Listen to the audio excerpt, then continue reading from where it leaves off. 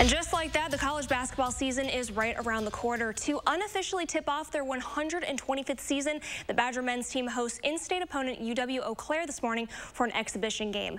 The match is also the sixth annual cancer awareness game that teams up with Guarding Against Cancer, as well as the UW Carbone Cancer Center. Now, to the action, the Badgers don't waste any time running up the score on the Blugolds.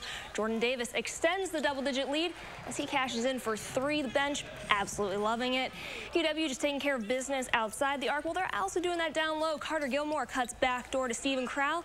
He goes in for two. Crowl leads the Badgers with 14 points and six boards. Tyler Wahl adds to it with 10 as they go on to win 76 to 45. The season tips off a week from tomorrow.